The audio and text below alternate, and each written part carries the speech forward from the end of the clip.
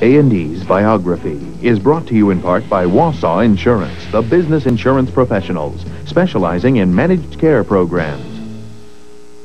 He's tall and he's quite silly.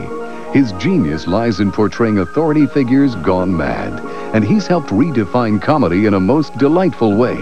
The Extraordinary Life of John Cleese, next on Biography.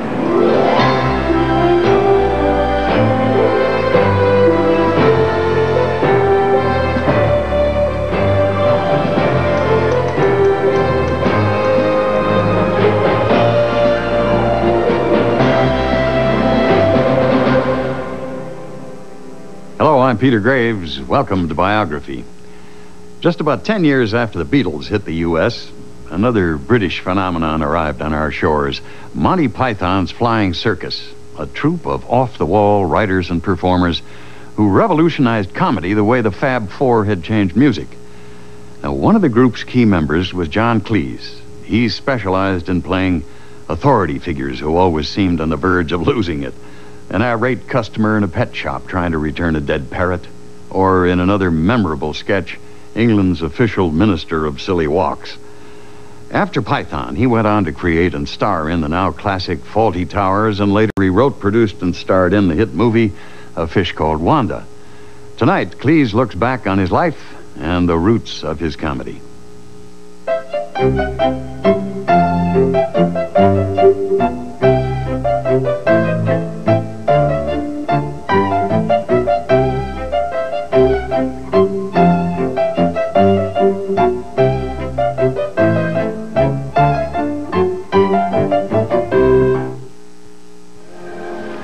Without a certain amount of glamour, combined with expert knowledge, the policewoman controls the traffic of one of Weston-super-Mare's busy intersections. Beautifully laid out gardens are a feature of Weston's main shopping thoroughfares. Weston-super-Mare, which is a little seaside resort uh, with a population of 30,000. Three cinemas, snooker hall. I kind of felt that uh, there was enough activity there for me as a boy to feel that I was quite an interesting and varied life. Dad sold insurance. He, he used to describe himself on forms as a marine underwriter because uh, when he'd been out in the East, and he had a very interesting uh, early life, he'd, he'd been in marine insurance for the Union of Canton Insurance Company. He had an interesting life because he went off to fight the First World War. And uh, that was incidentally also when he changed the family name because he was he was born Reginald Cheese. My grandfather was John Edwin Cheese, who was a solicitor's clerk, but a very crafty one who owned the entire office block in which he worked as a solicitor's clerk. Unfortunately, the family story went he put the money into railways instead of into beer, so we never had any. We literally had nothing except dad's salary in the 50s, which was 30 quid a week, which was quite comfortable. I mean, we had a little Austin 10, and Dad used to uh, just drive around Somerset selling insurance. Was that the circuit? Was it insurance, accountancy, mm. solicitors, clerks? That's that right. Your father's friend, mother's friends. And... That's right. And the, the, the reason I think why uh, accountancy used to feature so hugely in my sketches is that from the age of 15 there was this enormous, very gentle pressure because my parents were very kind, but there was a huge gentle pressure to become an accountant. I am a chartered accountant. I am also a chartered accountant. I am a chartered accountant, too. I am a gorilla. All four of us are chartered accountants, except me. And we are having tea. This is the sugar. Sugar. this is a cup of tea. Cup of tea. And this is a greenhouse. Do you see your background as having provided you with some terrific targets? Yes. I think it also, I felt at times that it it enables me to feel as though I'm in tune with what's going on in England. I don't think I feel that anymore because I think I'm too old now. But there was a stage, and I felt that very strongly, because there's a sign of typicalness about where I came from. I see it in a funny kind of way as being archetypally British middle class or lower middle class.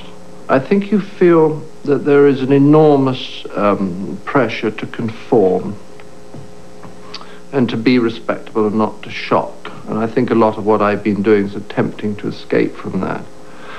At the same time, there's a very strong Puritan work ethic. Very, very strong. I think people find it terribly hard really to enjoy themselves. And I think that that's something that's been with me a long, long time. Uh, this is my wife, Audrey. She smells a bit, but she has a heart of gold. There must have been some kind of misunderstanding because this is number Oh, 41. who's that then? What? Who's the bird? You very seldom saw people in Weston-super-Mare um, really kissing each other. I mean, husbands and wives sort of pecked each other on the forehead, you know, or patted each other on the hand. It was that very distant thing, as though emotion could come along and send everything spinning off out of control. And I think that's why, certainly I have always had this feeling that my emotions were rather held in. Uh, self-repression and externally applied repression. That's right. And the escape from that is some spasm of anger, violence, Well, I think why, why or an reaction of fear as well, isn't it? Well, yes, fear, fear's there certainly, but I think one of the reasons why Basil Fawlty was uh, a very successful creation in the long run was that he embodied a kind of thing that the English feel sometimes, which is that because they can't say, I'm sorry, this is this food is not good enough, or I bought this pair of shoes, I want you to replace it. You know, because they can't do these simple acts of self-assertion, they tend to become on the surface kind of brittle politeness, and underneath a lot of seething rage. And I think that so many people in England feel this, that that was one of the reasons why they could identify with Basil, also find him funny, and at the same time quite like, because he's a monster. And yet people feel quite affectionately about him, which is a very strange paradox. What have you done to my hotel? What? Look! Oh, it's nice. I like it there. Look! Ow! You're hurting me. What have you done with my dining room door? Where is it? I don't know. Why don't you know I left you in charge? Well, I fell asleep. You fell asleep? Well, it's not my fault. You fell asleep and it's not your fault! He forgot to wake me. Who forgot to wake you? It is my fault. Manuel! I knew it, Manuel! Blame him. Why not? It's not really his fault. Well, whose fault is it then, you cloth-eared, beach-dinning Compton? Well, you hired O'Reilly, didn't you? I mean, we all warned you. Who else would do something like this? I beg your pardon? You hired O'Reilly.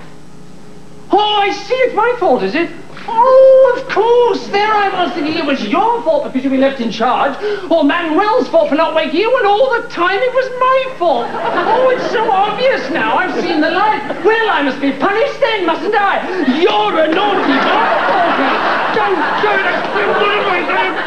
One of the things about the performance that you give as Basil is that you as an actor use his body a great deal to make effect. You are very tall and you can... Well, I do like- move oddly. I mean, I wish I But was you a- move even more oddly in Fawlty Well, Towers than you slightly, but I wish I was a lovely mover, and I'm not.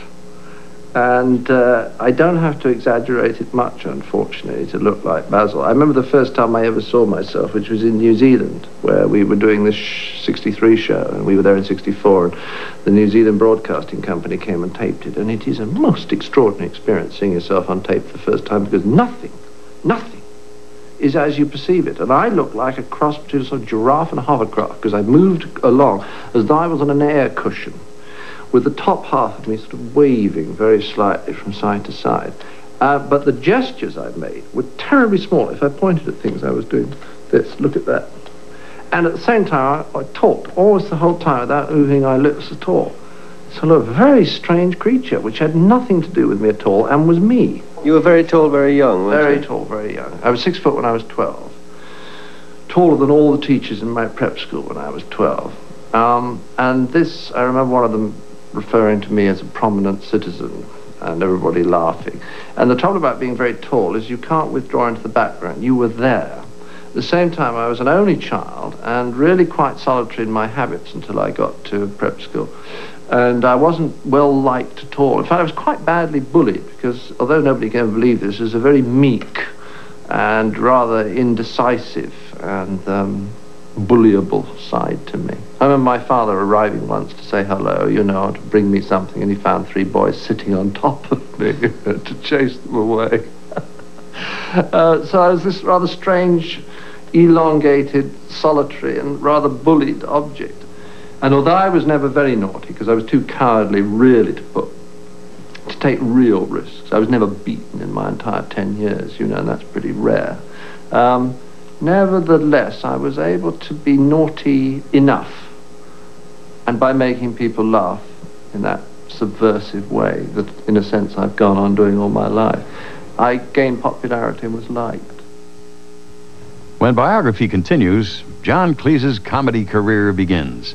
From the Footlights Club at Cambridge to Monty Python's Flying Circus. Next. And now the man I retained one year ago to recommend this corporation's property, casualty, and group health insurance companies. Here with his findings, the most sought-after efficiency expert in business, Mr. Fred Fox. Wausau.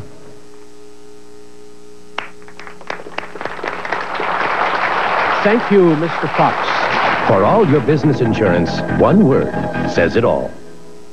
It still bugs me that I waited to try Old Spice High Endurance just because I thought all deodorants work the same. Dumb. This proves it's the best. Try it. If you don't think it's the best, call 1-800-PROVE-IT and they'll buy you a stick of yours. Take the High Endurance Challenge from Old Spice.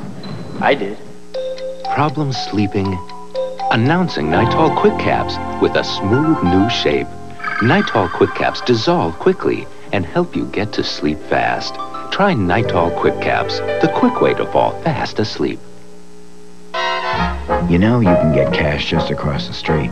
But did you know you can get cash all across the country? Using the same card you use at the cash machines at home. That is, when your card has a plus. Because plus marks the spot for cash when you travel. At cash machines in big cities and small towns in all 50 states and beyond. So check your card and name your street. Reinhold Bertlev had a key role in the building of Porsche's new 911 Carrera. Did he design the engine? The radical suspension? No. Instead, Reinhold and his co-workers have perhaps the best job in the world. They test drive every new 911 on the Autobahn. If Reinhold liked your car, we're pretty sure you'll like your car.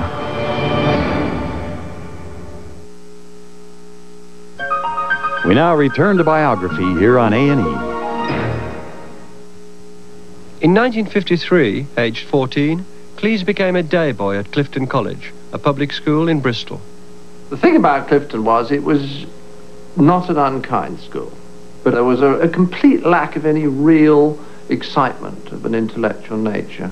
And I think most of the lessons that I was taught, which was there was a sort of mythical house spirit and school spirit and Christian spirit, Christian spirit, and all this business about lying. I remember, you know, lying was considered very bad, and then uh, then the school inspectors came, and, and one of the masters said, "No, whatever question I ask, you put your hands up, um, but if you know the answer, put your right hand up." And I began to realize this, this law against lying was merely administrative inconvenience, um, you know. I mean, it was nothing to do with morality. And I never knew what I wanted to do. And because I was quite good at maths, when I got to Clifton, I got put down the tube that said maths, physics, and chemistry. And I emerged at the other end holding three A levels, thinking, you know, what was that about? And then I got a place at Cambridge. You went to read law, you're switching away from... Yeah, I switched to law because I, I didn't know what to do. So again, I went on doing three years of something that I wasn't interested in, appeared with a piece of paper at the end saying, you are a BA, you know. And nobody ever asked me, having been told my entire life how important all these qualifications were, nobody ever asked me what I got or what my O-levels were. It's very strange. While at Cambridge, Cleese began to write and perform with the Footlights Club, alongside Bill Oddie, Tim Brooke-Taylor, and Graham Chapman uh, looking back now on Cambridge with this very male, uh, a particular class of male, a particular sort of English male, uh, a club. What were you after as a group? I know you were after making people laugh. Yes. Well, the trouble was, it's very hard to see that we were after anything else. We uh, reacted, all of us, very strongly against any kind of didactic purpose and laughed at it, thought it was rather awful. Um, I think some of us, certainly myself, were almost inconceivably inexperienced so far as women were concerned. And therefore, what we, we would, would have been very little point in writing about women since I, they were from another planet as far as I was concerned, except insofar as I'd seen them on screen, like I was able to parody a Somerset Maugham type heroine in one scene. But it's very hard for me to characterize my early humor because I pinched it from everyone. I mean, I got the idea of a parody of Somerset Maugham because I saw somebody else parodying him, you know? And then when I first started to write for BBC Radio, I did a series of conversations at a bus stop for Dick Emery and Deryck Guyler. And in fact, they were, I don't think I've ever told Peter Cook this, but they were all based on Peter Cook's, uh, yeah, well, it was pre-Pete and Dud, actually. It was all, all based on Peter Cook's um, interesting facts sketch. And he comes and tells the man this, these interesting facts, which I finally, to my great delight, actually did with him in a, a secret policeman ball kind of 20 years later. I'll tell you another interesting fact, though. It's about the whale. Did you know that the whale is not really a fish? It's an insect.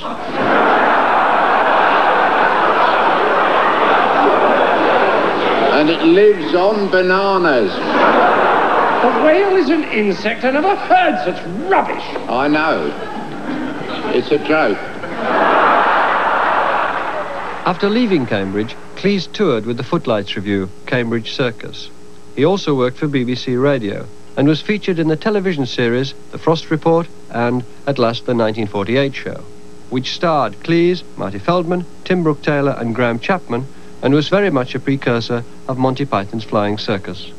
Almost everything I wrote up to about the time I left BBC was derivative of someone else. And then I think I began to find a little bit of a star, which was based on, on the fact that I discovered that people could take much harder jokes than were current at that time. Now, with all the young comics now, they won't know what I'm talking about because they do have hard humour. But uh, people were much more cautious in the early 60s about doing slightly hard jokes, jokes that implied something to do with uh, rage or hatred or real envy or, you know, something that was a bit nasty. Uh, the tenants arrive in the entrance hall here, are carried along the corridor on a conveyor belt in extreme comfort and past murals depicting Mediterranean scenes towards the rotating knives. The last 20 feet of the corridor are heavily soundproof. The blood pours down these chutes, angles flesh snurts into these large Excuse me. Hmm?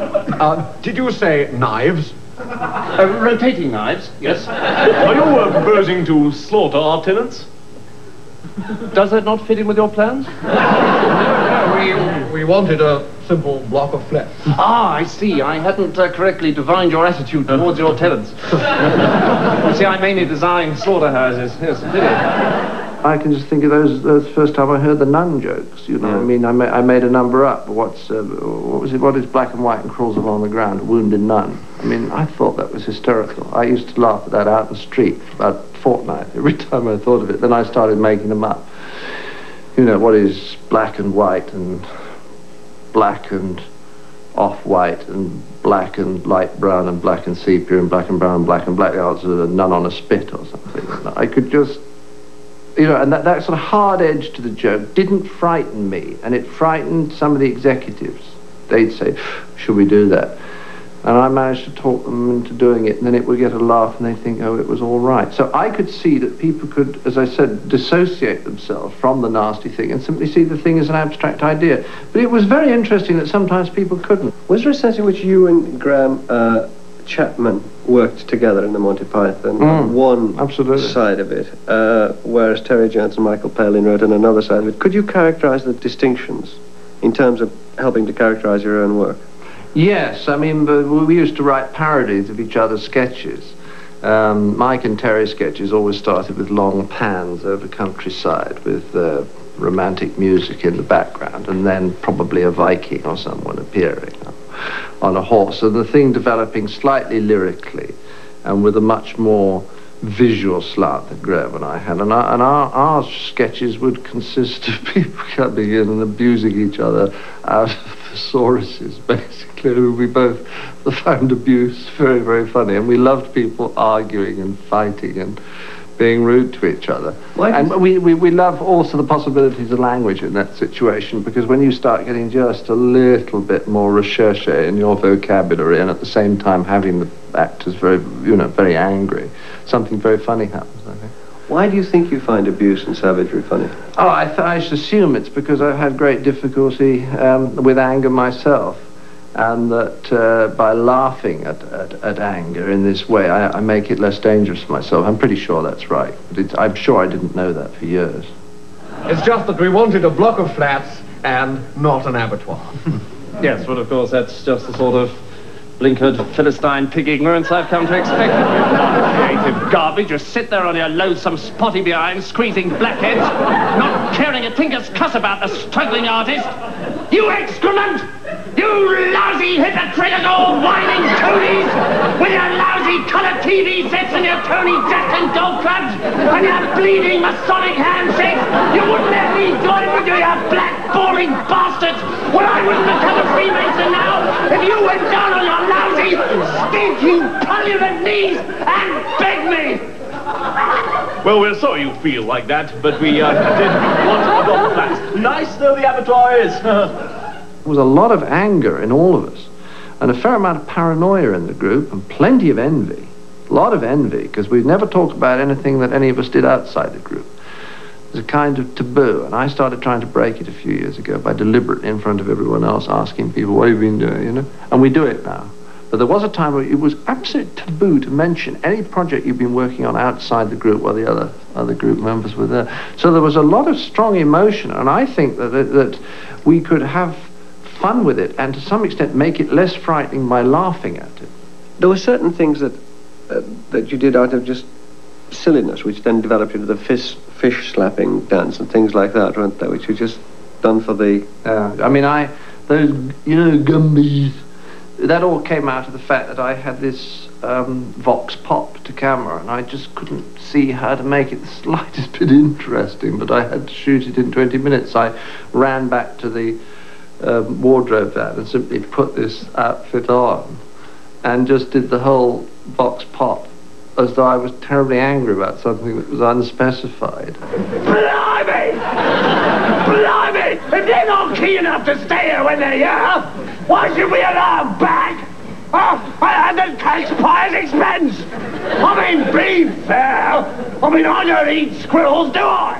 What we did normally was written and performed as written and structured. And that we were at our silliest when we were just got the camera and hadn't had a chance to write something in a formal sense. Inspector, Inspector, mm-hmm. I'm terribly sorry, but I was sitting on a park bench over there, took my coat off for a minute, and then I found my wallet had been stolen and 15 pounds taken from me.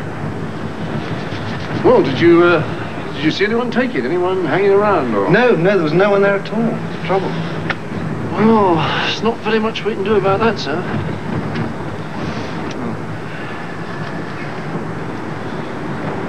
Do you want to come back to my place? Yeah, all right. Do you want to come back to my place? You're all right. Which I think is glorious. It's so... I don't know where it comes from. But you know, if you put that down on paper, it probably wouldn't have survived the reading process. Why do you think you were particularly drawn to authority figures? I mean, you're, uh, you, you're very at home playing Yeah. people in authority. Well, I think firstly because I could I could play them easily. You see, I mean, I'd had the training that those authority figures have. If you've been to to, to, to Clifton and Cambridge, it, it would be very easy to become a barrister, you know, or a very um, upper echelon businessman or a conservative politician, or you know, it's very easy to do those. So all I had to was to put a suit on. I had the right accent. I could play them. So that's one of the reasons I wrote. Second thing is I realized very very early on that if somebody a character that you're going to write is, is going to do that, then it's funny if he's head of the Secret Service and not funny if he's a milkman. So that the more authority that you give these characters, the more that they have hanging on them, the more people's lives don't know how they get away. Then the funnier it is when they do a bit of that. Yeah. And you went for confrontation a lot. There seemed a stage in your writing where the greatest wrong in human society was the impossibility of getting good service in a shop. Mm. Well, I began to realise it was true for a start. But I particularly got interested in that because I started to uh, make films for video arts and became very interested about this thing called business. That 90% of the British population spends all its time doing, that us folks in the arts, the creative ones, narrowly defined, to make us feel special, the creative ones know nothing about business. And I found it very interesting sitting down with a couple of smashing, very bright girls who who uh, taught everybody how to sell across the counter at uh, Marks and Spencer's, and they were terrific. And what they told me about psychology in two hours was solid gold. Ten minutes I've been here, and I'm in a hurry. Well, you've got to wait your turn, haven't you? What? You can't just swan in and get served like that. I mean, we're busy. Swan in? I might tell you I've been a customer of this bank for some 30 years. Come on. What do you want? There's people waiting. How dare you speak to me like that? Just because you got a fancy tie doesn't make you more important than the others, you know. Now, what do you want? I want to see the manager. I refuse to put up with this impertinence. Well, I'm afraid Wrong. The bank now has one very angry, very time-consuming customer. Because Brian couldn't handle him. Because he didn't react like a professional. Instead of staying cool, he allowed himself to get personally involved. So he was rude, and rudeness never works. So, rule one. Don't get personally involved. Stay a professional distance. Biography's look at the life of John Cleese will continue in a moment. When Rosemary Mitchell gave birth, she was covered by an innovation.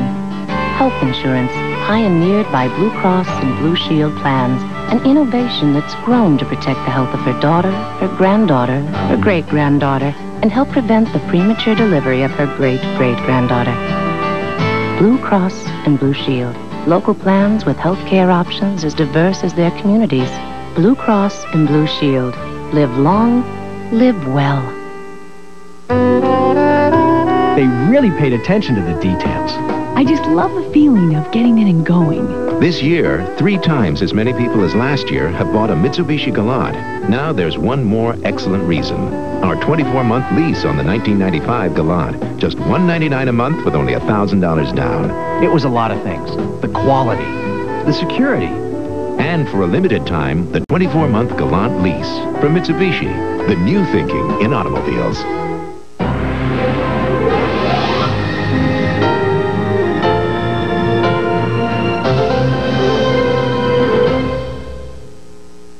There's smoke, Check it out. They're bootlegging cigarettes. No tax stamp. there's fire. Each of the defendants has known connections to organized crime. Not guilty. I want Masucci. And I want to keep on breathing. An A&E special law and order movie event. Greed makes people see things that aren't there. You got greedy. They knew it and they set you up. That was greed. There is no torrent like greed. Greed? The torrents of greed. Sunday on A&E.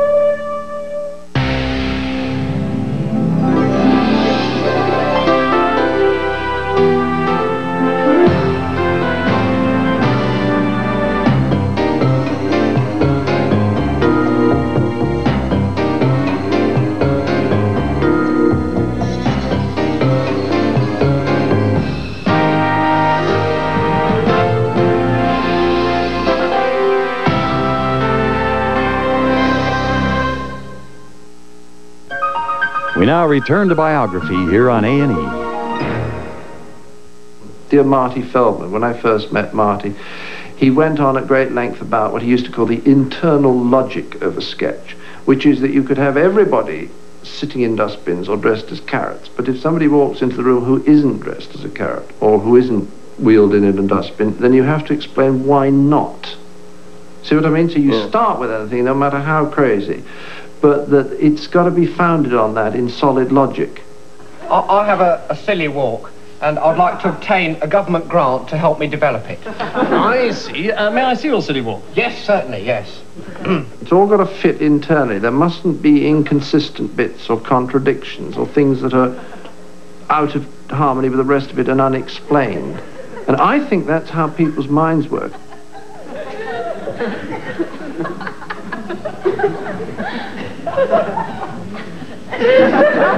That's it, is it? Yes, that's it, yes. Mm-hmm. It's not particularly silly, is it? I, I mean, the right leg isn't silly at all, and the left leg merely does a forward aerial half turn every alternate step. Yes, but I think with, with government backing, I could make it very silly. Mr. Pudey, the very real problem is one of money.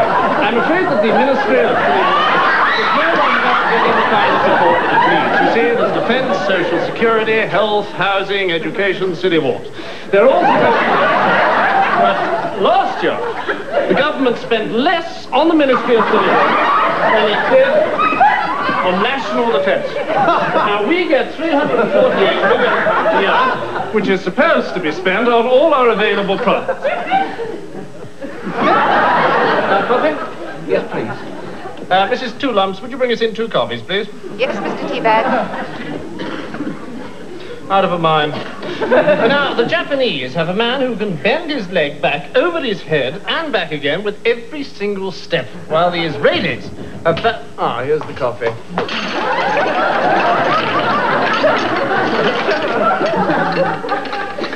Thank you, lovely. With sketches, you literally start from a single funny idea and see if it goes anywhere. But I think I realized that there's a kind of natural um, progress that seems to happen with a lot of comedy writers. It's almost clearest in Woody Allen, which is that for the first 10, 15 years, sort of 22 to 35, you are happy doing sketches, and then a bit, a bit of you becomes hungry to do something meatier. Now, once you move on to something meatier, you get involved in problems not just of plot and story, but of kind of consistency of material. And I think in a way, without being that conscious of it, the last three or four years when I've written very, very little, really the book with Robin is one of the only major things and a few things for meaning of life. Um, I've been uh, pursuing this and trying to sort out what I really do think about, uh, about things in general. Working with Robin in particular, I've seen that there are some ideas, some ways of living, which seem to me to lead people towards a much happier life. And these are not very widely known. I meet people who are highly educated, but they seem strangely ignorant about really quite basic uh, psychological, psychiatric uh, ideas, particularly this particular one about paranoia and projection. So if we have a great deal of anger and hatred, which we do not know about, we project it into other people. And that then justifies us to use our own anger and hatred. I mean, when you start viewing the way that politicians in particular behave, in the light of the sort of ideas that, that Robin has taught me through doing the book, um, it becomes deeply, deeply funny. Such as? When Margaret Thatcher goes on television with that performance that she does now, which has got nothing to do with a live human being at all. I mean, it's all been taught. I don't know who's taught it. Somebody said, put your head on one side, they don't talk so fast. Try and pitch your voice lower. Don't sound so strident. You know, relax more. Take a few deep breaths. Try to talk even slower. Put your head more on one side. And what comes out, people will sit there watching it. I mean, I get more laughs from that now than I do from comedy shows. The leader of the Conservative Party, Mrs. Margaret Thatcher. You're an American conservative, eh? We'll give you a good time. Know what I mean, eh? Better than that Labour lot. Labour. I wouldn't ask. I wouldn't ask. You know something about that lot? Bloody socialists, that's what they are. Best definition I ever read was um, Bergson in Laughter, and he says, laughter is a social sanction against rigid behavior non-flexible behavior, behavior that's not really well adapted to the situation. It's a social sanction, which brings in the idea that it's a group reaction, disapproving of something.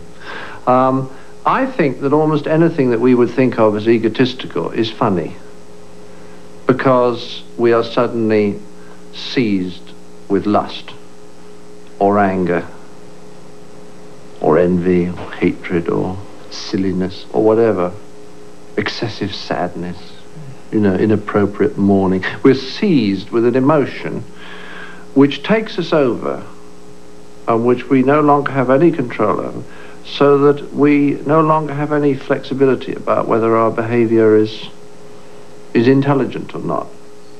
So, in a nutshell, funnily enough, I think what's funny are the seven deadly sins because they're the great sins of egotism.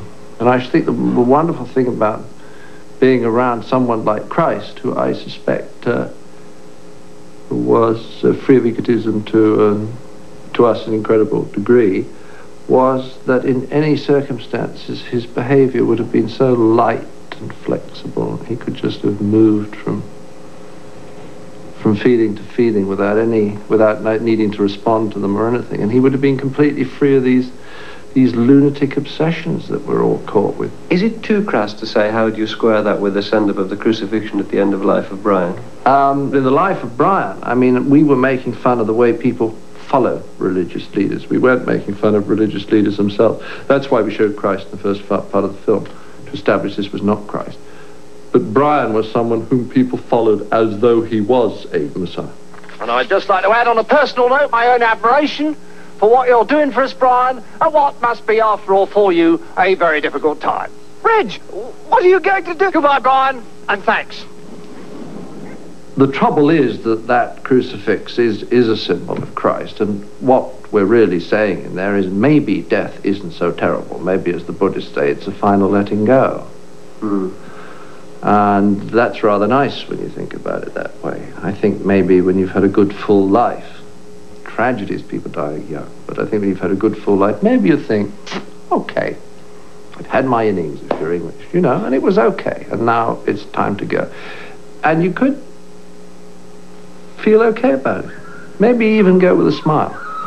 For life is quite absurd, and death's the final word. You must always face the curtain with a bow.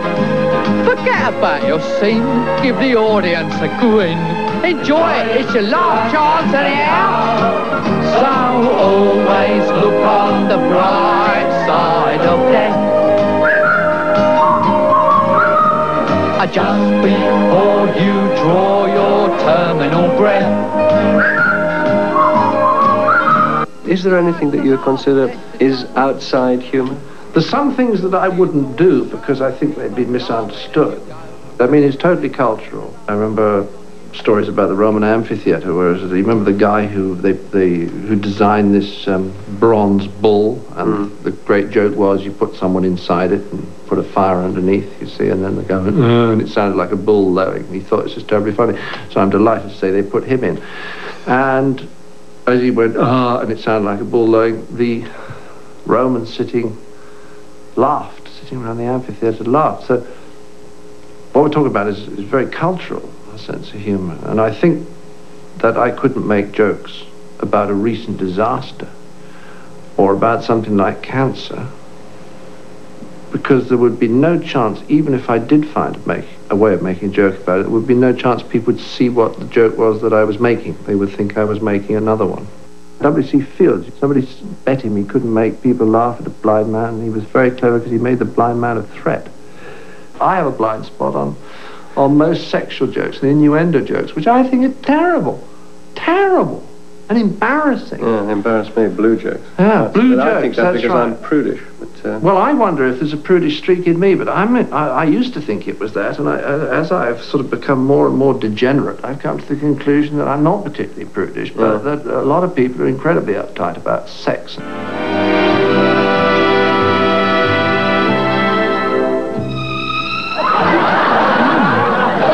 And now for something completely different. When biography continues, John Cleese writes and stars in Fawlty Towers. This week on Biography. Tomorrow, the Nicholas Brothers. On Thursday, Gregory Peck. And on Friday, Brigitte Bardot. Once most stomach remedies were gritty, soupy, chalky, bitter, or a bother. But time marches on, introducing Pepto-Bismol caplets, the easy-to-swallow pills that relieve most any common stomach problem. They're big news for your stomach.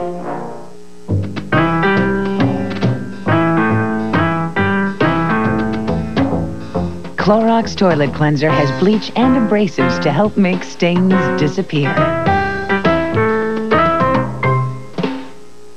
As we develop the new Porsche 911 Carrera, our German test center was buzzing with new thinking. A radical new suspension. A more powerful engine. The suggestions came from far and wide.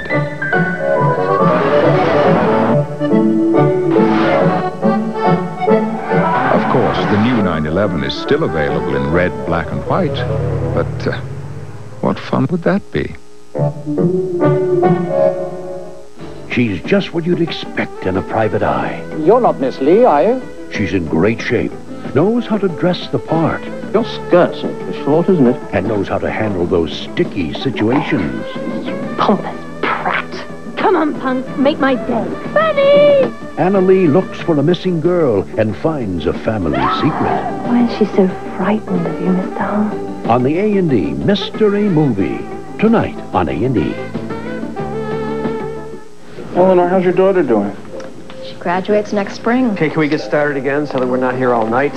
She'll be after his job soon. As soon as we can. We will. Now, I think the company's got a pretty fair offer on the table here, people. I don't know, John. Look, isn't there anything that we can agree on here? Other than getting a new coffee machine. I know one thing. Wausau for group health and workers' compensation.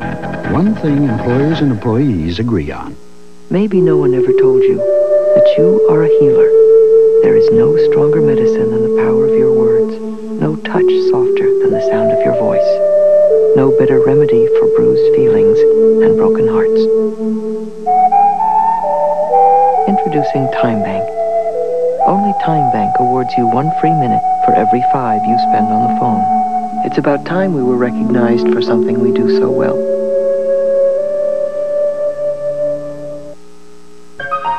We now return to biography here on A&E. Well, uh, how's that lovely daughter of yours? She's dead. Why, what a cool suit. Isn't that super? The way those stripes go up and down, it's really super. How much did that cost then? Who are you? I mean, I don't know your name. What is it? huh? My name. Oh, this is my husband, Basil Fawlty. That's it. What? Ah, do you do? How do you do? Uh, may I introduce my wife? Well, she just introduced you. Oh, what a coincidence. Yeah. Well, I don't believe you know my wife. Ted, yes. May I introduce Mrs. Hall? Oh, sorry. Didn't see you down there. Don't get up. How would you describe Basil? He's very depressed. And uh, I think that the reason that people feel sympathy or even, it's almost inconceivable, liking for this poor monster is that they sense that he's not in control of his own life. And I once did a kind of quick little popularity poll on the characters, and the most popular character is Manuel. And the kids identify with Manuel amazingly. And I'm sure that's because Manuel's seen as having no control over his life at all. Good morning. I beg your pardon? Good morning. One moment, please. Did you say good morning? See. I see. Well, what are you going to do now? Okay? What you do now? I shall breakfast. Ah, well, let's see you then. See. Where is door? door is gone. The door, door was here. Where, um... Oh, dear. Oh, good morning, Major. I'm so sorry. I'm afraid the dining room door seems to have disappeared. most in control and in a sense least liked, although perhaps most admired as a performance, is, is Prue.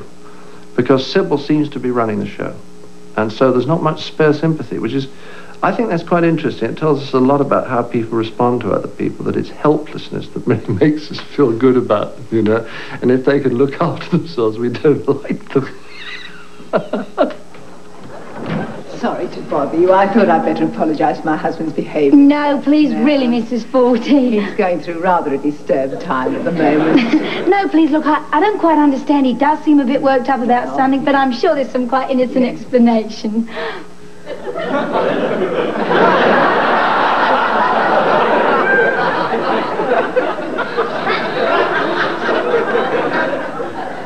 Basil?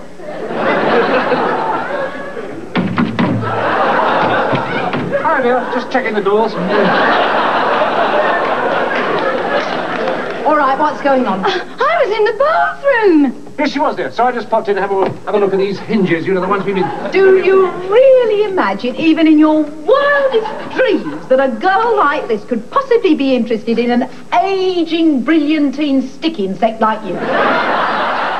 Uh, in Fawlty Towers, Connie and I used to spend enormous quantities of time on the plot. I mean, most people will write a half hour in 10 days top whack, and a lot of them will tell you, provided there's nobody from the company employing them around, they write them in a week. Well, Connie and I used to take six weeks of Fawlty Towers, and we just started with this huge sheet of paper. They always used to write, because there was never room to get everything in, we used to write, get that drawing paper. And we'd start writing one or two things down, like an idea at the beginning and maybe an idea in the middle. And we would go through it and through it and have other ideas we put off at the side. And ever so slowly, over two weeks, a plot would be constructed. Was there any time when you were writing them that you said to yourself, oh, that's the way, that's the formula, that's the sort of way we do it? No, not a formula. There were certain things we took pride in. I was thinking as you were saying that. We always took pride in trying not to let the audience guess what was going to happen. And we realized the way around that was that in most comedy, the plot comes plot, and you can spot that a bit of plot has been put in. So whenever we were getting plot points across or establishing something that was absolutely necessary to lead on to the final direction of the story, we would always make it as funny as possible, so that people thought it, be, it had been put in because it was funny. But at the same time, they would absorb the point, the plot point. You keep talking about the plot, but there are uh, several plots, half a dozen, Yes, where you have right. five or six adventures setting out. And when you try and get two or three, we used to get two or three, sometimes four, but probably two or three threads, uh, threads. and then at a particular point, they come together. And then they start playing off each other. And they may not just come together and run. They may sort of come together and overlap a little bit. And then two and three may touch. And then three and one may touch. But basically, they start separate on separate tracks and then start weaving. And of course, the best ones are where they all come together right at the end, like with Mrs. Richards, the deaf person, which I watched with my daughter about a week ago. It's very satisfactory, all the things that have been set up. When he finally has to tell her that the money is his, and he turns to Manuel, you know, and he says, just tell her the money's mine. And Manuel says, I know nothing. In which Basil told him to say 20 minutes before. Uh, it's, you know, it's just the satisfaction of it all just touching it, just at the end.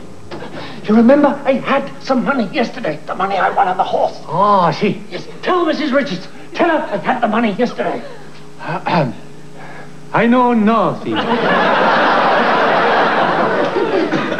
I know nothing. No, no, no, no. Nothing. No, no, forget that. No, I forget everything. I know nothing. No, no, you can tell her. You can tell her. I cannot. Yes, sir. Tell her. Tell her. Tell her. Oh, tell her, please, please. Tell her. Tell her. Tell her. You just see the poor guy being put into more and more uncomfortable and terrible situations the whole time. Connie and I would would laugh till the tears ran down our face, but we would always ache for him because you know we were really like two gods. We were writing this man's life and making it absolutely it's awful. He never had a chance.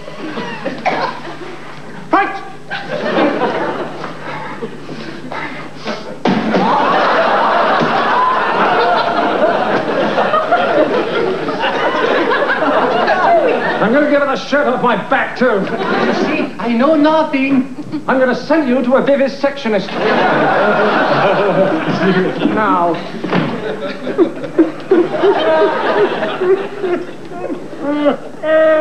But the, the funny thing is, I did realize this years ago that it's no good having somebody behaving crazily. What is much, much funnier is watching somebody, watching someone who is behaving crazily.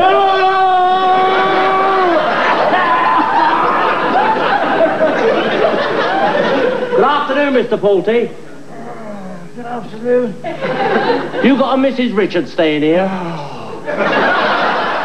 I like physical acting. I think sometimes if you can do something with a movement of the back or the head or something like that, or even a facial expression, it's always funnier than something verbal. It goes in deeper, at a deeper level.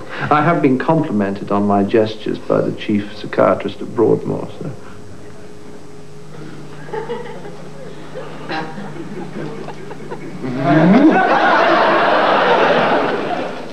We found her money. Where? She, it doesn't matter. I ten pounds up on the deal. Ten pounds? Yes, yes, it's 95. Even if I give a ten, I'm still ten up. Polly, for the first time in my life, I'm ahead. I'm winning. Mrs. Richards, how lovely to see. Your beautiful vase that you bought yesterday has just arrived. Now, remind me, the money that you have there, is it yours or mine? I told you, it's mine. You're absolutely sure? Yes, I am. Uh, but you're still ten pounds short? Yes. Uh, Polly, uh, give Mrs. Richards this, would you? What's that? This is mine. What's that, Basil? I think the strength of Fawlty Towers was the scripts and, and, and the plot and the amount of time we put into them. And they are logically consistent. And there's also a lot in them because there was so much time spent in them. And, and that's what I'm most proud of. Polly asked me to put it in the safe for her. So that's all sorted out. Um, this is your uh, money, Polly. Uh, this is your beautiful vase, Mrs. Richards. Fonzie, you did give me that money. You won it on that horse. Biography's look at the life of John Cleese will continue in a moment. Only Embassy Suites hotels give you a suite with two big rooms, a free cook-to-order breakfast, and evening beverages on the house. Because only Embassy Suites is twice the hotel. Call 1-800-EMBASSY. We interrupt this broadcast to bring you the promised land. Humanity, All of history, all in one place. The History Channel. It's coming in the future. Six months ago, Joanne Spears broke her leg playing soccer. Playing soccer far from home. Fortunately, the Spears Blue Cross and Blue Shield plan provides easy access to medical care nationwide. Blue Cross and Blue Shield. Local plans with healthcare options as diverse as their communities. And how was Joanne's recovery? If you can catch her, ask her. Blue Cross and Blue Shield. Live long, live well. Yo, sound the bell. You recognize their style in breakdancing. You can't touch this. The Nicholas brothers would have been a threat to a Fred Astaire or Gene Kelly. They did everything. The way they would perform and the way they would project themselves was pure class. Experience the ultimate legends in dance. The Nicholas Brothers, only on Biography. Tomorrow on A&E. Imagine a couple of Swedish engineers have dinner with a couple of German engineers. The Swedish engineers over herring talk about safety, while the German engineers over bratwurst talk about the joy of driving. And what do you think they'd end up with? Probably the new Volvo 960. Now the only question is who's going to pick up the tab? The new 960 from Volvo.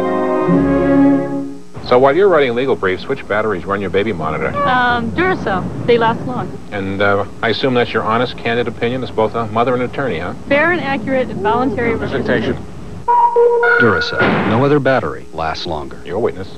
Visit your local True Value today and enter to win a 95 Jeep Grand Cherokee. Look for the Duracell display and save on long-lasting Duracell batteries. D's, C's, and 9 volts 199. Double A's and triple A's 249. Only at the Duracell display. Only at True Value. Help is just around the corner. We now return to biography here on A&E. You've referred a lot while we've been talking to the book you've written with Robin Skynner and going into therapy. Can you tell us about that? Did you did you become happier, more contented? I think I simply became less frightened and therefore less uptight. Uh, enormous number of people are very frightened of what is in themselves, and I'm much less frightened of what's in me now because I've seen some of it, and you accept. All right, I have a lot of envy. I have uh, not so much jealousy. I have quite a lot of anger, which is not still available to me properly. I have a slightly depressed side, which is infinitely better, but there's still a touch of it there. I have the, but they don't frighten me anymore. Was there a sense, though, in which the fear that you had was like the lid on the cauldron that made this, drove the steam engine forward? Oh, yeah. And that taking that lid off means that uh, Hmm. the steam is released, but then so is the forward movement of the engine. Absolutely. I've become sort of resolutely less hardworking. And I really question now whether I feel I need to be very productive for the rest of my life. It may be that I change my mind, but uh, I don't feel any of that work ethic anymore. What if I suggested that, uh, just as a suggestion, I don't know whether it's true or not, of course, is that some of your best writing came out of an unawareness Mhm. of what you had in your. Is that Could be. It could be. And it doesn't bother me at all. Because I know I have one particular friend who says that he does not want any psychiatry because he thinks it will affect his, his work. And for me, my life is infinitely more important than my work. And if I was given a choice between one of those very comfortable Victorian portrait painters and Van Gogh, I would take the portrait painter every time. I see no point in unnecessary suffering. Although I'm amused at a quote from Gurdjieff, which is that man will give up almost anything but his suffering. I think there's a great deal of truth in that. What was that? That was your life, mate. Oh, that was quick. Do I get another? Sorry, mate. This should not. Although John Cleese now feels life is more important than work, he'll never abandon comedy completely. He says if comedy was good enough for Shakespeare and Mozart, it's good enough for me. And now let's see what's coming up on our next biography. They may have been Hollywood's finest dancing team, but their names are still barely known. Now learn their story in their own words and dances.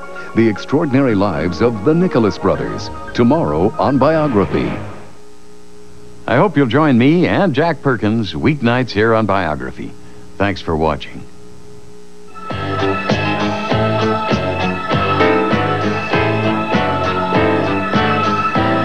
It brought us to the brink of nuclear war. Mike Wallace takes us back to the Cuban Missile Crisis on the 20th century. Tomorrow. And now the A&E Mystery Movie is next.